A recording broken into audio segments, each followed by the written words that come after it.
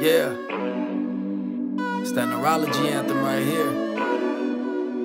The brachial plexus. Fundamental raps.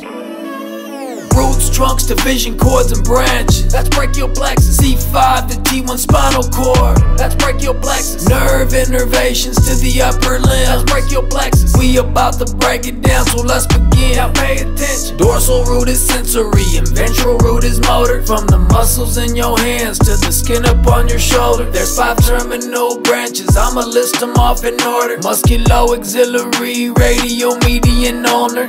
I'ma tell y'all something about each section of the plexus. Yeah. We gon' start with the roots, then work our way down to the branches. Passes through the scalenes, the medial anterior.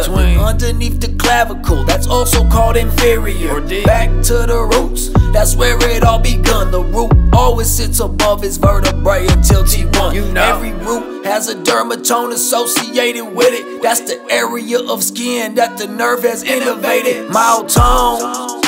It's the same but with the muscles. Here's a couple body movements to check if the nerve's in trouble. C5 abduct the shoulder. C6 you flex the elbow. C7 you extend it. Straight arm like an arrow. C8 you make a fist.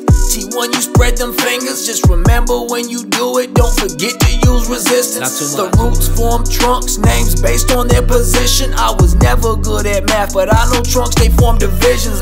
Roots, trunks, division cords, and branches. That's brachial plexus. C5 to T1 spinal cord. That's brachial plexus. Nerve innervations to the upper limb. That's brachial plexus. We about to break it down, so let's begin. Now pay attention. Dorsal root is sensory and ventral root is motor. From the muscles in your hands to the skin up on your shoulder. There's five terminal branches. I'ma list them off in order. Musculoaxillary, radial, median, ulnar. The roots make up three trunks, upper, middle, lower. Are you catching on to this or should I flow a little slower. Each trunk splits into two divisions. Front and back. Anterior is flexors, posterior is extension. I'm referring to that neuromuscular innervation. Nerve and muscle. Moving on to cords named according to relation to the axillary artery. The shoulder's the location. These three cords innervate a bunch of muscles. Here's the list of names. Lateral cord innervates the pec major. Medial cord innervates both pecs. Posterior cord is the subscapularis and the lat. So when you hear thoracodorsal, you just think about the back. We onto them branches, last part of the plexus. Proximal to distal, they travel in that direction. Five branches, a terminal, I'ma list them off in order. Musculoaxillary, radial, median, ulnar. Roots, trunks, division cords, and branches. That's brachial plexus. C5 to T1 spinal cord. That's brachial plexus. Nerve innervations to the upper limb. That's brachial plexus. We about to break it down, so let's begin. Now pay attention. Dorsal root is sensory, and ventral root is motor. From the muscles in your hands to the skin up on your shoulder. There's five terminal branches. I'ma list them off in order. Musculoaxillary, radial, median, ulnar. your plexus.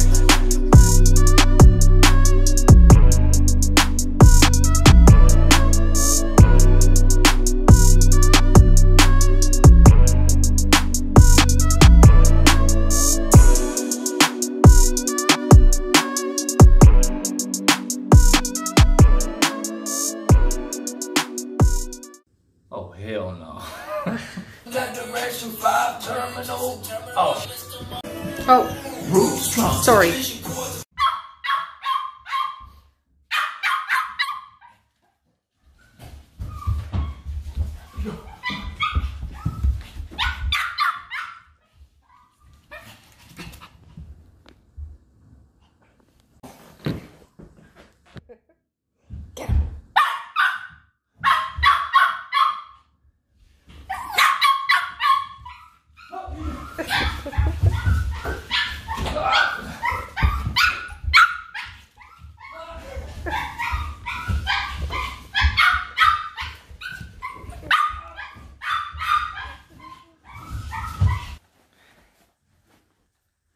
啊。